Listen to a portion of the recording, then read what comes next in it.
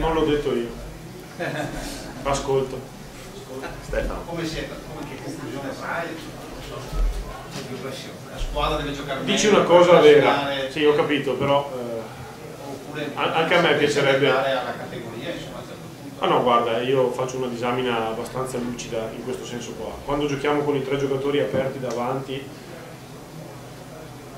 le catene di gioco sono molto più facili da trovare perché abbiamo dei riferimenti esterni. Con questo sistema di gioco, non avendo nella posizione di, di trequartista un giocatore con le qualità eh, di saltare l'uomo, so, il Di Gennaro dell'anno scorso, così capite l'esempio, eh, diventa un sistema di gioco un po' compassato, un sistema di gioco magari dove viene meglio andare alla caccia della palla, andare al recupero della palla per poi giocare sulla ripartenza.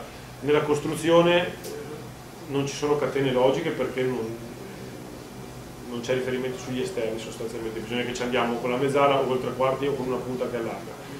Ci viene meno bene perché non abbiamo quel tipo di giocatore là.